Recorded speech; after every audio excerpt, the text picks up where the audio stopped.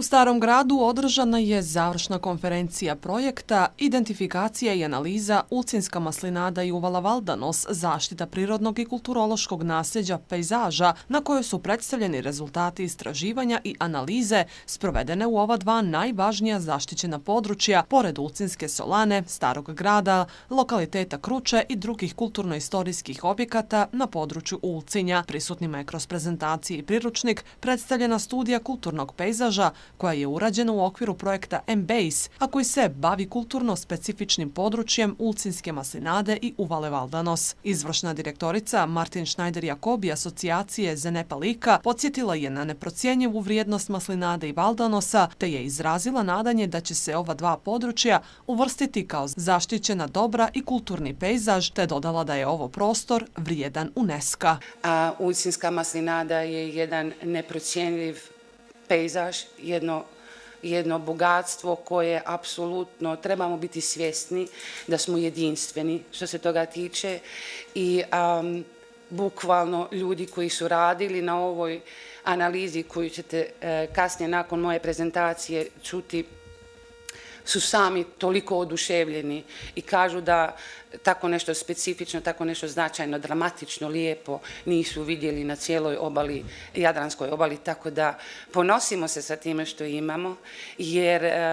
zaista vrijeme toči, mi idemo, ali ostaje kulturna dobra za buduće generacije i mi to radimo baš izuzetno zbog njih. Nadam se da će naša inicijativa koju ćemo da, e, to ću isto u, ovaj, u prezentaciji da kažem, e, pokrenuti, da se e, Ucinska maslinada i Uvala Valdonos uvrste u kao zaštićeno dobro kulturni pejzaž i apsolutno sam ubijeđena u tome i to ćete danas čuti tokom prezentacija, da je naš prostor vrijedan UNESCO. I mene je to izuzetno drago, zato što um, mislim da je ovaj grad i država Crna Gora zaslužila jedno UNESCO područje takvog značaja. Iz Centra za građansko obrazovanje, koje je partner i nosilac šireg projekta M-Base, ističu kulturnu i istorijsku važnost Maslinjaka i Uvale Valdanos, turistički aspekt očuvanja ovog područja, stanište brojnih biljnih i životinskih vrsta, koje čitavoj državi i regionu može služiti kao model održivog razvoja. Ulcinska maslinada i Uvala Valdanos svakako predstavljaju izuzetno vrijedno kulturno i prirodno bogatstvo koje nosi sa sobom značajne ekonomske, ekološke i kulturne implikacije generacije. Ulaganje u ova područja ima ključnu ulogu u očivanju njihove autentičnosti, održivom razvoju lokalne zajednice kao i promociji svijesti o važnosti očuvanja e, prirode i kulturne baštine. Brojni su razlozi zapravo zašto e, je važno ulaganje u očuvanju ovih područja. Prije svega to je kulturna i istorijska važnost, jer e, ova područja predstavljaju najveći živi spomenik maslinarstva na Mediteranu i s bogatom istorijom koja seže vjekovima unazad. Viševjekovna pa i hiljadugodišnja stabla maslina svjedoče u kulturnoj i tradicionalne povezanosti lokalne zajednice sa ovim područjem i očuvanje zapravo ovih područja čuva identitet i ulcinja, ali i čitave Crne Gore. Tu je također i vrlo značajan turistički aspekt samog očuvanja ovih područja, jer Ulcinska maslinada i Uvala Valdanos imaju značajan turistički potencijal zbog svoje prirodne ljepote, kulturne vrijednosti i jedinstvenog krajolika.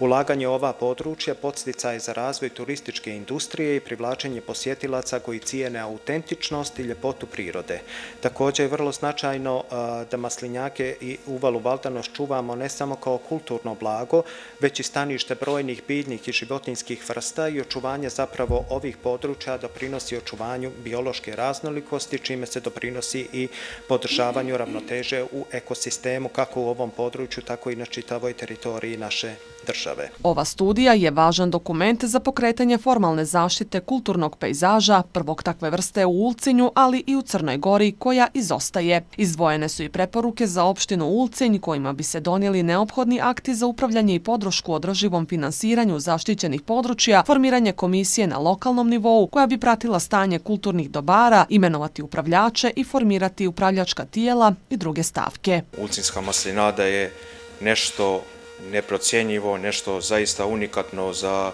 našu opštinu Ulci i mi kao opština zaista pokušavamo i trudimo se da što, što više budemo prisutni na toj maslinadi, formirali smo i poseban organ prilikom reorganizacije naše, e, naše opštine, mi smo formirali jedan organ, sekretarijat za ekologiju, poljoprivredu i ruralni razvoj. I prvo pitanje je bilo gdje imate